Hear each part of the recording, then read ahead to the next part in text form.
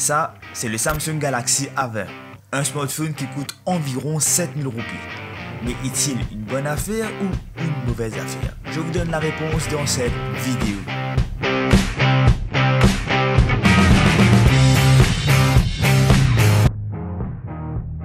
Commencer, parlons design. C'est du classique de ce qu'on peut retrouver de nos jours. On a un dos en plastique qui prend énormément de traces de doigts, mais on peut facilement camoufler tout ça grâce à une coque de protection.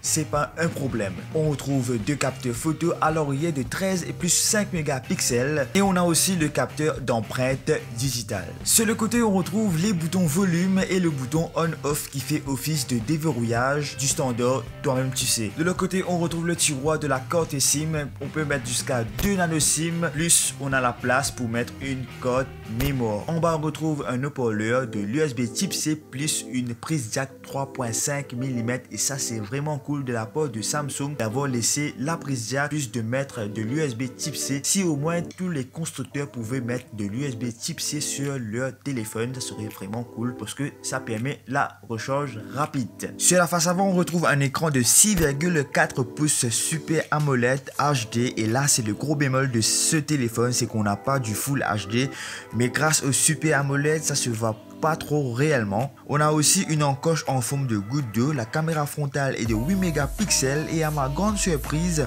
on a un Face ID qui est assez réactif et ça c'est vraiment cool. Ce grand écran est super bien pour regarder des films, des vidéos en plein format, c'est du 16 neuvième, en plus il est très lumineux et personnellement je trouve que Samsung produise les meilleurs écrans de smartphone. Niveau paramètres, on a quelques fonctionnalités que je trouve assez sympathiques. Euh, premièrement, la base de la c'est le filtre anti-lumière bleue. Deuxièmement, c'est qu'on a la possibilité d'activer le dark mode et ça c'est vraiment cool pour économiser de la batterie. Troisièmement, on a la possibilité d'activer ou de désactiver la barre de navigation et ça c'est vraiment cool si on veut par exemple profiter de l'écran au max. Quatrièmement, on a la fonctionnalité Dolby Atmos et ça c'est vraiment cool pour avoir un audio optimisé cinéma quand on regarde des films et ça c'est vraiment cool de la part de Samsung de l'avoir mis sur un smartphone d'entrée de gamme. Niveau performance, on a du Android 9 Pie sur une surcouche One UI de chez Samsung. On a un processeur Exynos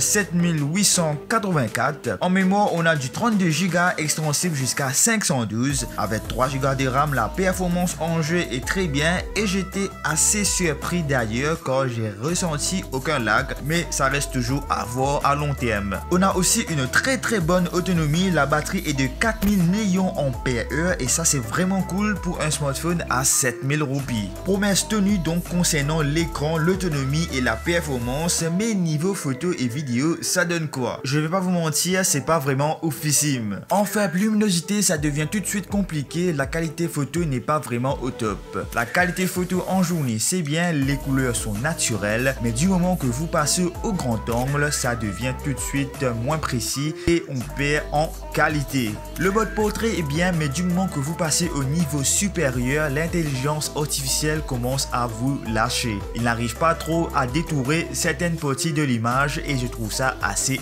dommage. La caméra avant fait son job en selfie, mais je trouve qu'il lisse trop la peau et on perd beaucoup en détail. Niveau vidéo, c'est bien, les couleurs sont assez naturelles, mais la stabilisation n'est pas vraiment au top, donc je vous conseille un stabilisateur ou de le poser sur un trépied. Donc voilà, est-ce que ce téléphone est une bonne ou une mauvaise affaire? Je dirais oui et non. Oui parce qu'on a des nouvelles technologies intégrées dedans et non à cause de la caméra. Pour 2000 roupies de plus, vous pouvez avoir une meilleure qualité photo sur un autre smartphone, par exemple du côté de chez Huawei. Bref les amis, j'espère que ce full review concernant ce Samsung Galaxy A20 vous aura plu.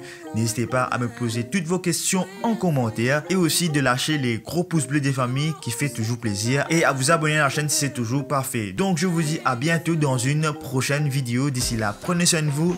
Peace.